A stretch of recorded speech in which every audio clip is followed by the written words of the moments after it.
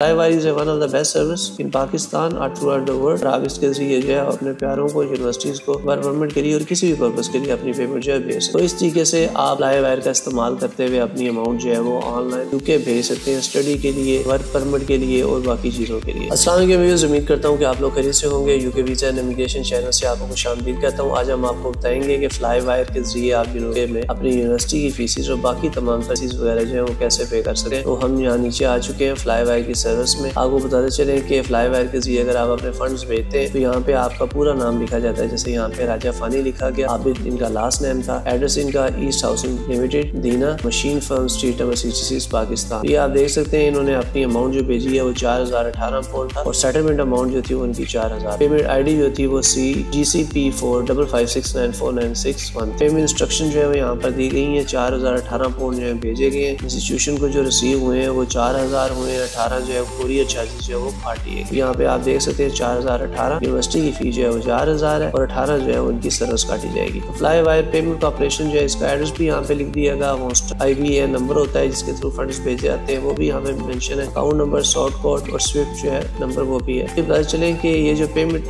हमने भेजी है पेमेंट इंस्ट्रक्शन कैन ऑनली भी यूज़ वंस एक्सपायर आफ्टर ये बताया जा रहा है कि जो आपने पेमेंट भेजी है, ये एक्सपायर कब होगी? बताया जा रहा है कि ये 29 दिसंबर 2023 तक अगर ये अमाउंट का प्रोसेस मुकम्मल नहीं होता या निकाली नहीं जाती तो ये सेशन एक्सपायर हो जाता है। चैनल को लाइक करें सब्सक्राइब करें फ्रेंड्स के साथ शेयर करें।